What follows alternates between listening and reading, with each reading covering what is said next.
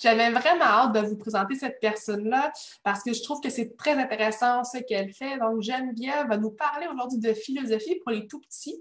Euh, puis bien que je n'ai pas d'enfant, j'ai vraiment hâte d'entendre parler parce que mon premier contact euh, avec la philosophie, du moins à l'école, c'était euh, au cégep. Donc, Geneviève, j'ai vraiment hâte que tu nous parles de ce, de ce sujet très important. À toi. Bien, bonjour mes enfants. Aujourd'hui, euh, on va faire une activité de philosophie. Euh, être philosophe, ça veut dire être un ami de la sagesse. Est-ce qu'il y a des amis qui savent ce que ça veut dire?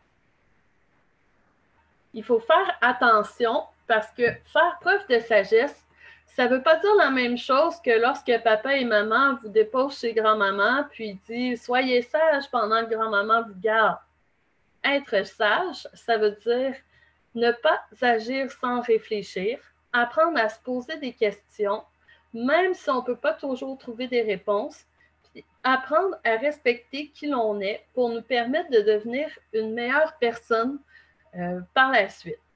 Donc, euh, j'espère que tout le monde a envie de, de devenir un ami de la sagesse aujourd'hui. Pour ce faire, ben, nous allons d'abord lire une petite histoire, puis après, on va réfléchir ensemble sur ce que euh, ça va nous avoir appris.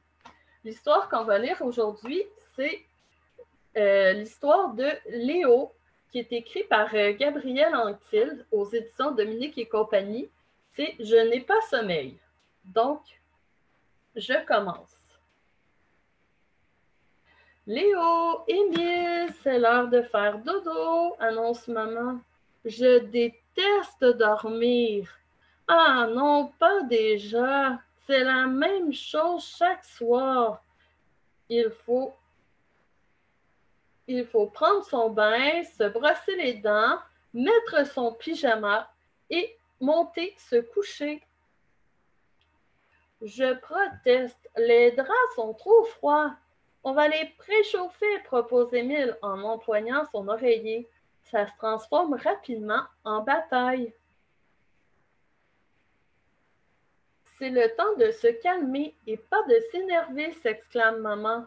Elle offre de nous raconter une histoire. Oh oui, j'adore les histoires. Il était une fois un courageux capitaine qui était à la recherche d'un immense trésor caché par des pirates il y a plus de 500 ans. Émile s'endort comme chaque fois après la première page. Maman poursuit quand même la lecture. Le vaillant capitaine doit affronter des serpents venimeux, des tarentules géantes et des sorciers maléfiques. Avant de découvrir le coffre rempli d'or, je déclare, quand je serai grand, je serai un aventurier, c'est décidé. Léo, il faut dormir maintenant, dit maman. Papa et moi allons regarder un film. À moins d'une urgence, ne nous dérange pas, s'il te plaît. Je n'ai pas du tout envie de dormir. Je préfère jouer l'aventurier. Oups, j'ai encore besoin d'un peu de pratique. Boum! Et là, Léo est tombé.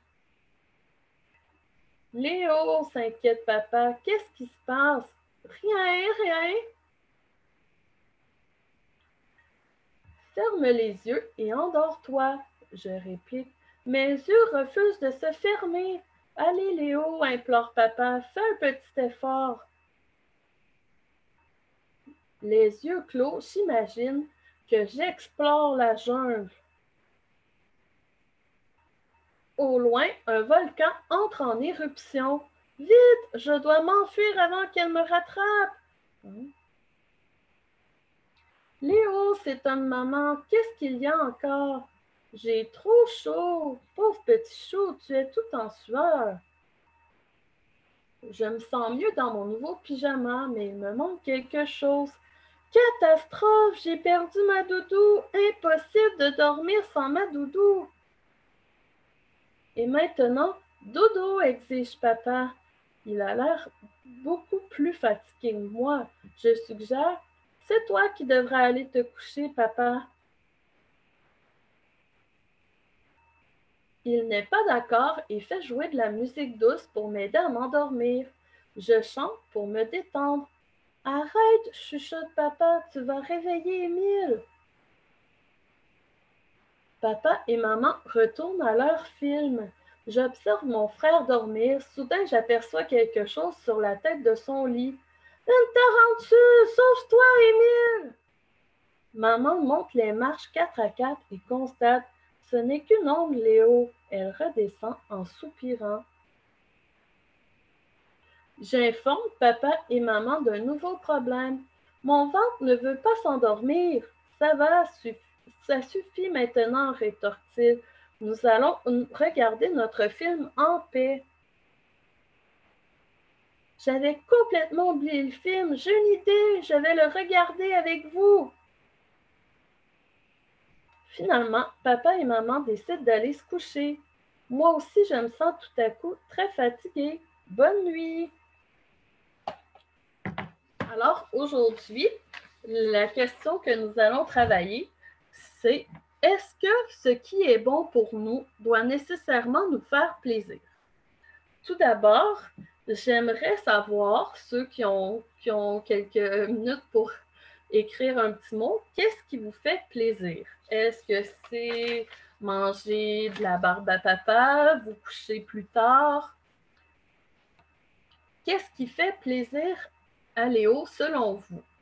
Hein? Qu'est-ce qu'il aime faire? On voit dans l'histoire, hein, Léo aime beaucoup lire des histoires, regarder des films, manger du popcorn.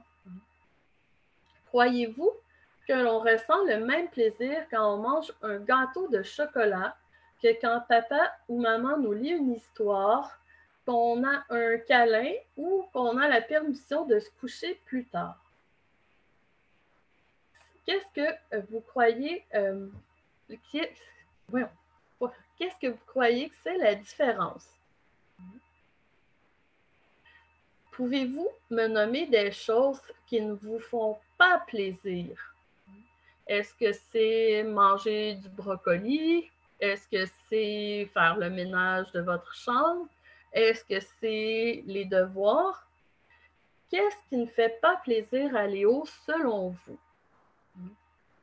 Moi, ce que je crois, c'est que Léo n'aime surtout pas dormir, prendre son bain, se brosser les dents. Hein? Pouvez-vous me nommer le contraire du sentiment de plaisir? Des fois, quand on n'éprouve pas de plaisir, on peut, ça ne veut pas dire nécessairement qu'on éprouve de la peine. On peut aussi éprouver d'autres sentiments comme du dégoût, de l'ennui ou de la désolation. Le dégoût, c'est comme, par exemple, lorsque vos parents vous forcent à manger euh, des choux de Bruxelles ou du brocoli. L'ennui, ça peut être aussi quelque chose que vous éprouvez quand vous êtes obligé de faire le ménage de votre chambre ou quand euh, votre professeur vous donne la dictée du vendredi. Puis la désolation ou la peine, ça peut être un sentiment qu'on ressent quand on voit un ami pleurer, par exemple quelle réaction dans votre corps provoque ces sentiments? Est-ce que, euh, par exemple, pour le dégoût, on peut avoir euh, mal au cœur, on peut avoir envie de s'éloigner, on peut euh, aussi refuser d'écouter la consigne hein, quand c'est quelque chose qui nous dégoûte vraiment, qu'on ne veut pas faire? Quand on éprouve de l'ennui, par exemple, notre corps peut bailler, on peut aussi avoir envie de faire autre chose. Quel sentiment croyez-vous que ressent Léo lorsqu'il fait des choses qui ne lui font pas plaisir? Est-ce que vous pensez que c'est du dégoût, de l'ennui ou de la peine? On peut remarquer chez Léo, quand on lit l'histoire, Léo il n'a pas vraiment mal au cœur comme quand c'est le dégoût. Il n'a pas envie de s'éloigner. Puis, il n'a pas envie de pleurer. Peut-être qu'on pourrait plus dire que Léo a envie de euh, parce qu'il n'a pas envie de faire les choses. Puis, c'est pas mal ça. Il a peut-être envie de, de bailler, ça l'ennuie. Euh, qu'est-ce qu'on fait quand on. Euh, qu'est-ce qui fait qu'on ressent du plaisir à faire certaines choses et que parfois euh, d'autres choses provoquent euh, des sentiments comme ceux que nous venons de parler. Hein? Pourquoi certains ont plus de plaisir à jouer au ballon et d'autres à faire de la peinture, par exemple? Parce que si vous êtes plus habile, par exemple, avec vos mains ou avec vos pieds, euh, vous courez plus vite, vous pouvez euh, préférer jouer au ballon, mais quand on, est habile avec nos mains à faire des dessins, on est plus calme, on peut aimer faire la peinture. Euh, pourquoi certaines personnes aiment le chocolat et d'autres préfèrent le caramel? Comme vous voyez, il y a des plaisirs qui sont influencés par ce que nous sommes, nos habiletés, nos goûts personnels, et des plaisirs qui sont universels, c'est-à-dire des plaisirs qui sont pareils pour tout le monde. Tout le monde aime recevoir des câlins. Il arrive aussi euh, que les plaisirs provoquent certaines sensations dans notre corps, par exemple, comme lorsqu'on mange du chocolat, dans notre tête, comme lorsqu'on est fier d'avoir euh, gagné une partie de, une partie de, de cartes, par exemple, ou dans notre cœur, comme euh, lorsqu'on donne des câlins à nos parents. Maintenant, on va s'attaquer à la notion de bon. Pouvez-vous donner des exemples de ce que vous trouvez bon pour vous? Il y a plusieurs, plusieurs significations au mot bon. Est-ce que vous en connaissez quelques-uns? Par exemple, on peut avoir bon des choses qui goûtent bon, comme un gâteau au chocolat. On peut avoir des choses qui sentent bon, comme une fleur. On peut avoir des choses qui sont amusantes, comme jouer au ballon. On peut avoir des choses qui sont bonnes, qui sont efficaces, comme euh, quand vous avez une bonne voiture, hein, une voiture qui ne roule pas, c'est pas une voiture efficace, c'est pas une bonne voiture. Euh, vous avez des bonnes choses qui nous permettent d'être en santé, comme les pommes. Vous avez aussi des bonnes choses qui nous permettent de devenir des meilleures personnes, comme quand vous mettez la table pour aider papa et maman vous avez des bonnes choses hein, qui nous font grandir notre estime de soi, qui fait qu'on se considère comme des bonnes personnes, comme quand papa et maman vous disent bravo, hein, vous êtes heureux. Tout à l'heure, on a parlé des choses qui faisaient plaisir à Léo. Maintenant, pouvez-vous nommer des choses que Léo croit bonnes pour lui? Pensez-vous que c'est les mêmes choses qui lui feront plaisir? On peut remarquer que Léo pense pas que dormir, c'est bon pour lui. Je pense que pour Léo, ce qui lui fait plaisir, c'est pas mal les choses qu'il considère bonnes. Hein. Manger du popcorn, se coucher plus tard, lire des histoires. A-t-il raison, Léo, de mettre les deux mêmes choses euh, au même pied d'égalité? Hein? De dire, ben ça, ça me fait plaisir, puis c'est la même chose que c'est bon pour moi. Comment peut, on faire pour savoir que quelque chose est bon pour nous? Pensez-vous que euh, c'est seulement les choses qui vous font plaisir ou euh, est-ce qu'il y a des choses qui ne vous font pas plaisir, mais vous savez que c'est bon pour vous, hein? comme euh, dormir, comme manger du brocoli, comme euh, euh, aller courir dehors. Euh, est-ce que vous croyez que vos parents ont toujours raison lorsqu'il est question de savoir ce qui est bon pour vous? Pensez-vous que c'est les meilleures personnes puis qu'ils savent toujours ce qui est le mieux pour, pour votre santé, pour votre bonheur, pour vous divertir? Hein? Qui est la meilleure personne selon vous pour savoir ce qui est bon pour nous? Est-ce que vous pensez que c'est Léo ou c'est sa maman qui a raison? À quel âge croyez-vous euh, qu'on peut savoir ce qui est bon pour nous? Euh, est-ce que vous pensez que mon petit garçon Léon, qui a trois ans, est, à même de juger, hein, est capable de juger ce qui est bon pour lui? Ou s'il est encore trop petit, puis c'est moi qui dois décider pour lui, est-ce que vous pensez qu'à 11 ans, alors qu'on est près, 11 ans, 12 ans, on est presque à l'école des grands, on est capable de décider ce qui est bon pour nous ou on a encore besoin des conseils de nos parents ou d'autres personnes en qui vous avez confiance? Maintenant, pouvez-vous nommer des choses que vous croyez mauvaises pour vous, pas bonnes?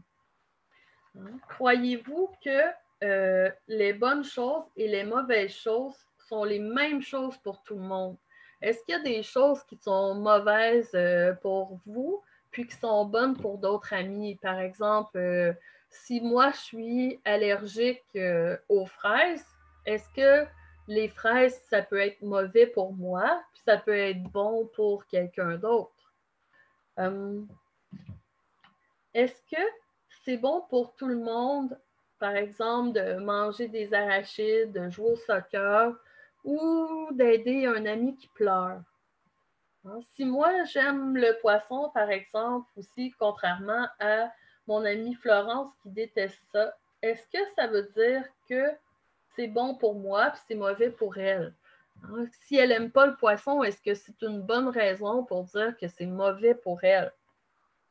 Hein, si, par exemple, tu utilises euh, pipettes d'un ami qui a des allergies, est-ce que c'est bon pour toi et pour lui? Ah, non, à ce moment-là, ben, il y a des choses qui ne sont pas bonnes pour vous puis qui sont quand même meilleures pour lui. Est-ce que vous connaissez des choses qui sont bonnes pour tout le monde?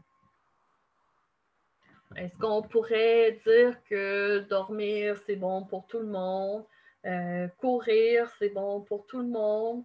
manger des fruits et des légumes, ça peut être bon pour tout le monde? Est-ce que toutes ces choses-là qui sont bonnes pour vous, ça vous fait plaisir?